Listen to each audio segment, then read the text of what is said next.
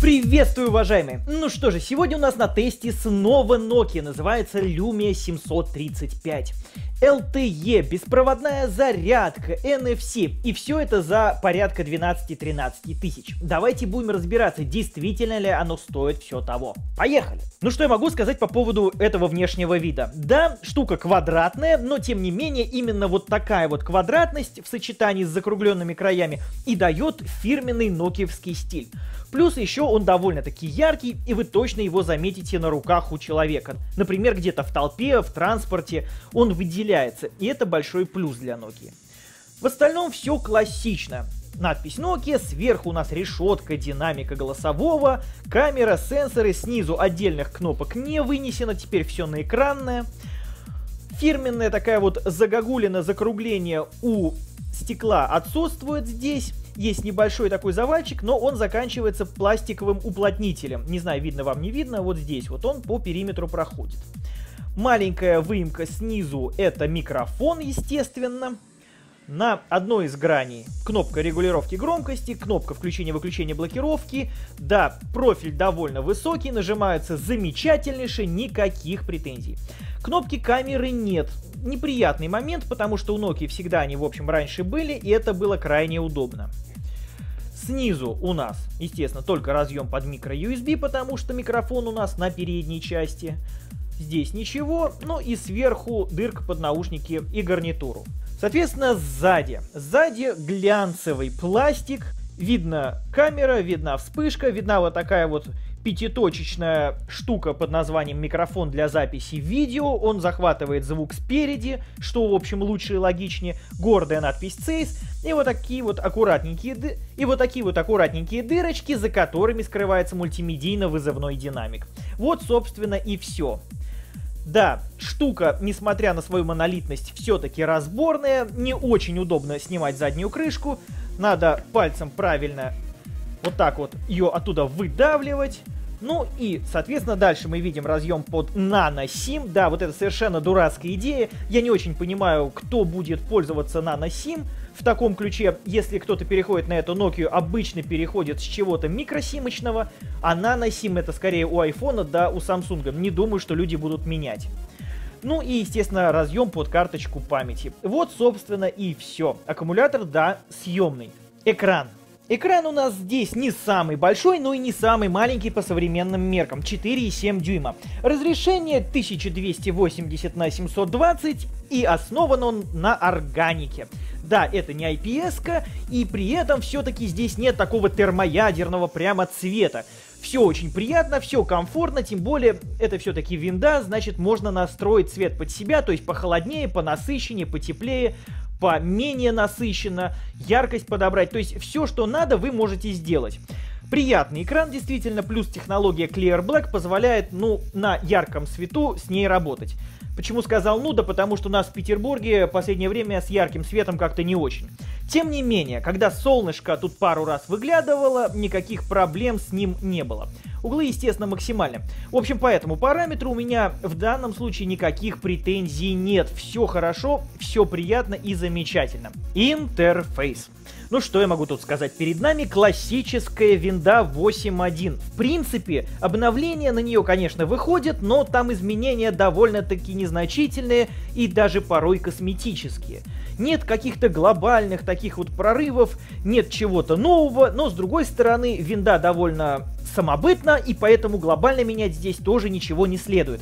Из того, что видно для России, это появление вот таких вот папок активно живых. Все то же самое, вы просто можете скинуть несколько приложений вот в такую вот кучку.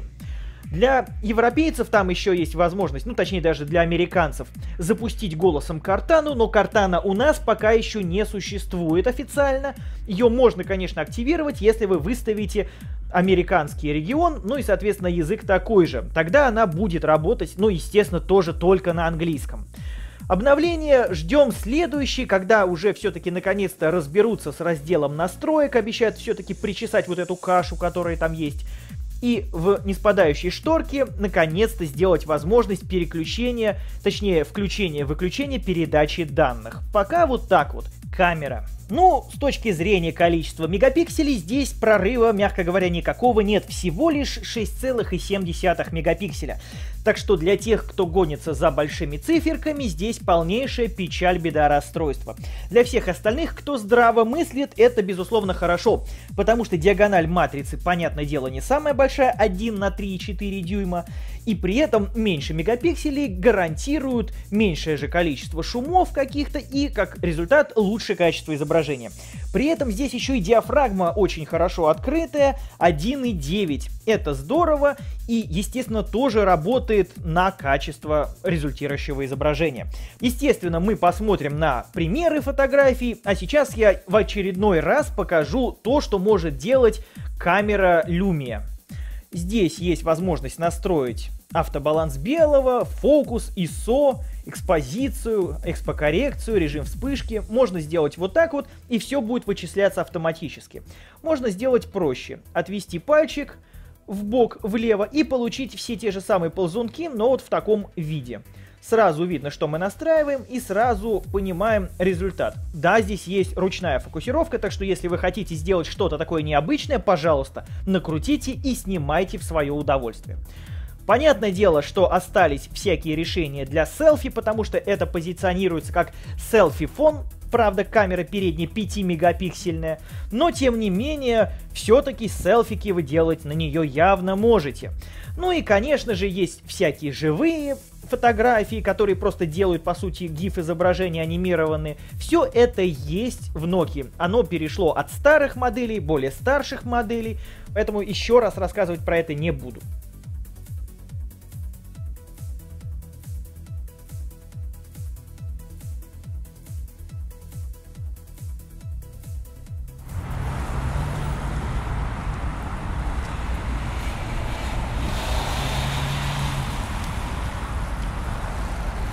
Ну что ж, уважаемые, давайте подводить итоги. С точки зрения времени работы ничего супер-пупер удивительного не получается, то есть где-то день, день с небольшим, если его совсем не мучить, то примерно два.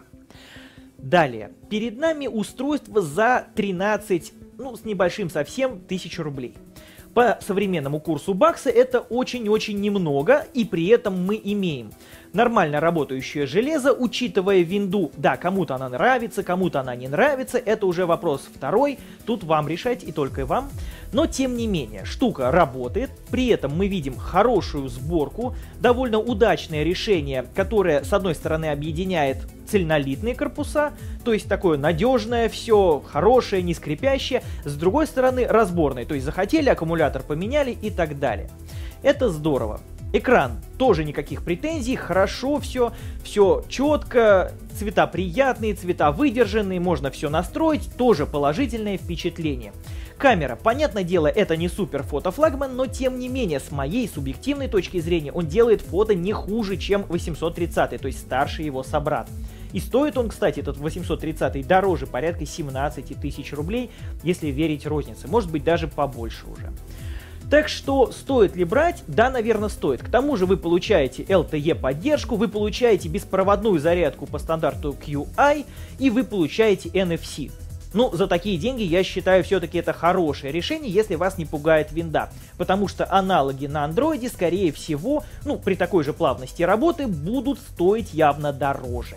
Вот такой вывод. Так что, если не против винды, то идите и посмотрите, штука неплохая. Все, на сегодня все, я прощаюсь с вами, но ненадолго, ибо скоро будут новые обзоры. Пока-пока.